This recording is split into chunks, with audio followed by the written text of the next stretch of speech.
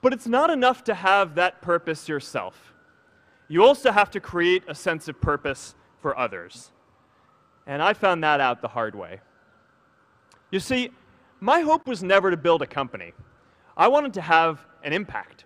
And as all these people started joining us, I just assumed that that's what they wanted to do too. So I never took the time to explain what it was that I hoped we'd build. A couple years in, some big companies wanted to buy us. I didn't want to sell. I wanted to see if we could connect more people.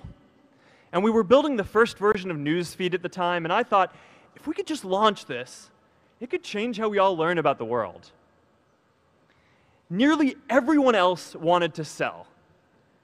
Without a sense of higher purpose, this was their startup dream come true, and it tore our company apart.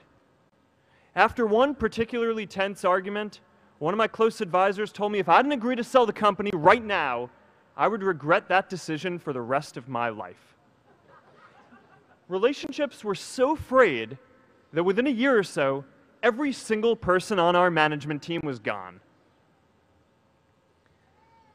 That was my hardest time leading Facebook. I believed in what we were doing, but